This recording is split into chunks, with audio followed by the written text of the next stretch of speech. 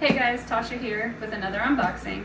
I just got a package from CW Spirits. Hopefully the contents are still intact because this box has had the shit kicked out of it. Maybe the mailman was having a bad day, or maybe he's just a grumpy old asshole who could use the contents of my box.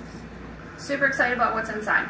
It is 30%, it's 60 proof, and it comes from Texas, you know, where everything's bigger. So let's see what we've got.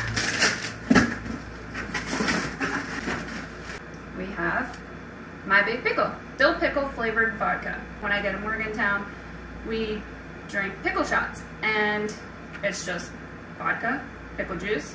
Well, no more needing to store that old pickle juice in the back of the fridge. What I'm most excited about though is Bloody Marys. My husband has a reputation for making the best Bloody Marys.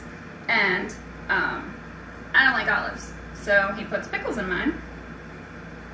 No, I'll try it with my big pickle. My favorite drink is a lemon drop martini, so maybe I can get him to make a pickle martini. So if you want to see what all we do with my big pickle, follow me.